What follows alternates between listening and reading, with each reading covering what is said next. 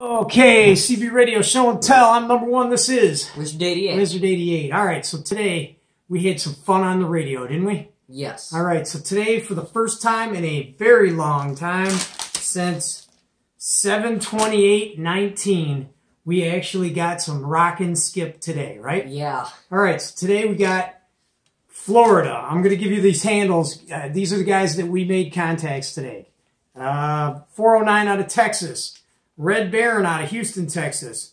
445 Radio Man. Did you see Yeah. anything special with this? You want to give the kids in CB Radio show and tell? He actually made a video of him What? like talking to us. Oh my God! He showed a video gate of us talking to him, and we what we sounded pretty decent down there, eh? Yeah, we also Where's- have his card over We got his card on the wall. Go point it out for the crowd. Here, I'm gonna let the kid do the pointing it out. All right, Right which one is it? This one. Right This- there, Radio Man out of Mississippi. Thank you very much for doing the video gate. That was really cool. All right, so we got 445 Radio Man. We got 45 out of Tuscaloosa, Alabama. 007 out of Louisiana. 5 Alive out of Alabama. 456 out of Louisiana. 108 out of Louisiana. 289 out of Mississippi. 357 out of Georgia. 302 out of Louisiana. 502 out of Louisiana. He was hammering it. Yeah. 502 out of Louisiana. I don't know if you're in this group, but man, you were getting it. 043 out of Louisiana. 195 out of Florida. 984 out of Florida. We got Junkie out of Louisiana. We got 999 out of Louisiana and 813 out of Florida. We were hammering it today. It was coming in good. The skip was finally happening. Since last year. Yeah, so like, so let's see, uh, 7, 8, 9, 10, 11, 12. It's been five months. Wait, six, seven. That's been like almost seven months. I mean, I work a lot, so I'm sure it was rolling in between. But for us, this was the first good skip in a long time, Yeah. right? You were having fun on the radio? Mm-hmm. It was cool. That was eight months ago, actually. Yeah. Yeah, So, I just like- did the math in my head. But I mean, like, we were really having a good time with it because it was coming in strong. I missed it yesterday, but today was good. So if you're not on the radio, you might want to go in there tomorrow and check it. It might you might get a little spurt of good sunspot activity right now, right? Yeah. All right. So we did that today. What else did we do today? Anything else? Uh, no, not much. Not much. So we're gonna we're gonna share tomorrow. I'm gonna make the video. It's gonna go up late in the evening because my internet signal's slow. But tomorrow I'm gonna tell you guys about how our beam built went.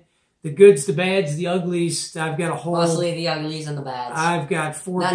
pages. It's, It was a lot of bad. the good was probably just It's now. working. Yeah, we Yeah. realized it today. Today was the first time, and I've used this beam a bunch of times. The first time I noticed my IMAX at 108 feet to the tip, and the, the beam is like 54 foot to the top of the vertical, and you know the flat side's not that high, Yeah. obviously 50 foot.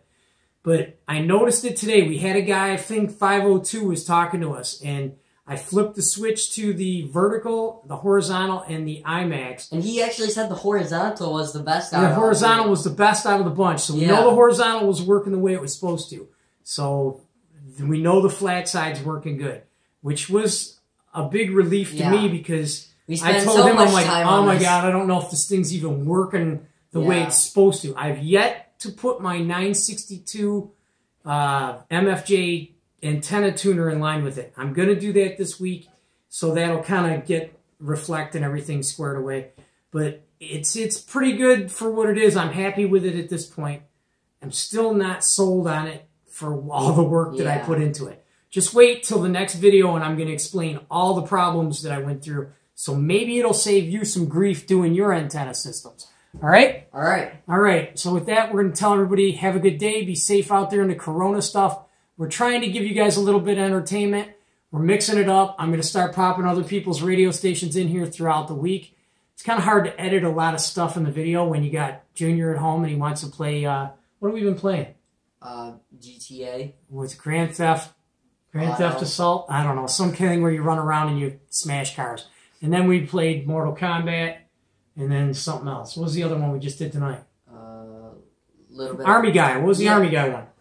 Fortnite. Fort, Yeah, Fortnite. little- little bit I don't know. I don't know anything um, about this stuff. Fortnite. I have no clue. I just tell him where the guy should go, and uh, and then he shoots people on that game, and that's how it goes. It's a kid's game, right? Yeah. All right. So with that being said, stay tuned because If you really want to know the real deal on how a beam goes up, I don't know everything about everything. I've done a bunch of these, but I can tell you the flaws that I went through. So if you're interested in knowing the flaws and hearing all the problems that I fought through that project, you might want to watch this next video. So with that being said, we wish you all safe, safe days and be careful. Stay in your house where you're safe.